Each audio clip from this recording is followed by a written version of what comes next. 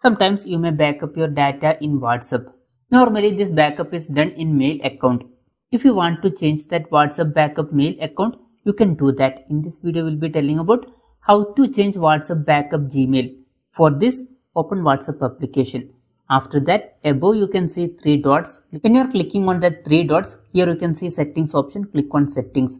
In settings, you can see one option, chats. Click on chats. When you are clicking on that, you can see one option, chat backup. Click on chat backup. When you are clicking on that, here you can see Google account option. Click on this button. When you are clicking on that, you can see every Google account in your phone. If you want to add new account, here you can see add account option. You can click on that and add new account.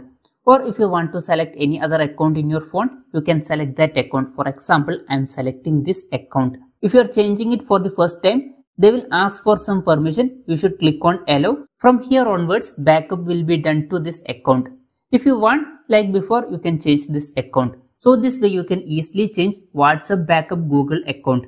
Hope this video was helpful for you. If you find it helpful, consider subscribing. See you in the next video.